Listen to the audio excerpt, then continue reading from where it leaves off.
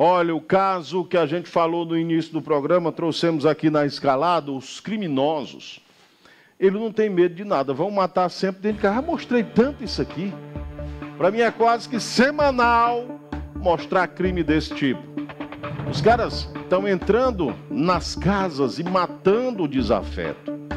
O cara da facção rival, o cara da própria facção deles, que não cumpriu as ordens do chefe, do comandante do tráfico, eles vão lá e matam. Só para você ter uma noção como foi que mataram um cara lá, 15 disparos. Lá foi bala, bala, bala, bala, bala, bala, bala, bala. O crime aconteceu na água mineral, zona norte da capital. Kilson Johnny tem os detalhes e vai trazer pra gente agora aqui, ó. A nossa equipe acaba de chegar aqui na rua Santo Antônio, bairro Água Mineral, onde um homem foi executado com aproximadamente 15 disparos de arma de fogo.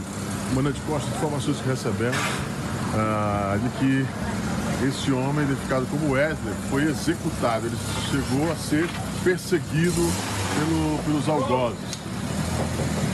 Positivo. A informação que nós temos é que ele adentrou na residência pelos fundos, né, pedindo socorro, estava sendo perseguido. E aí se, se, escondeu dentro dessa residência aí, numa sala escura. Só que logo em seguida entraram três indivíduos encapuçados. Né, e procurando por ele, procurando, até quando encontraram ele aqui numa sala aqui escura e executaram mesmo.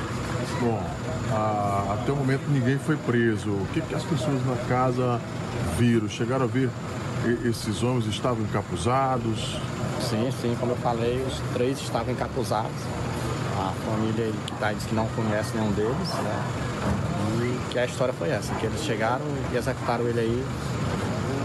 Deve ter sido algum, algum desafeto, alguma situação que a gente ainda vai, a investigação da Polícia Civil vai saber o resultado maior disso aí. Né? O que dizer da vítima? Já tinha passado pela polícia? Ele já foi preso aqui por uma equipe nossa, com arma de fogo, estava é, usando tornozeleira. Segundo informações, ele já tem prisões por roubo e alguns outros delitos.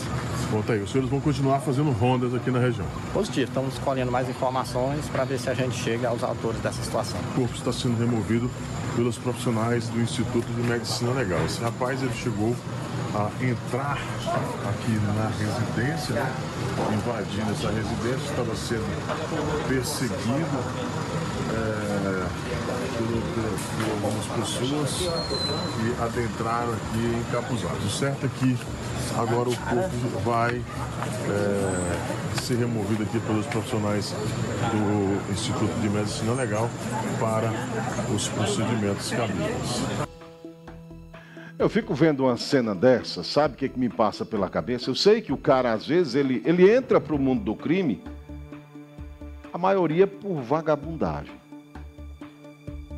A maioria por vagabundagem tem uma, uma pequena parcela que entra por necessidade.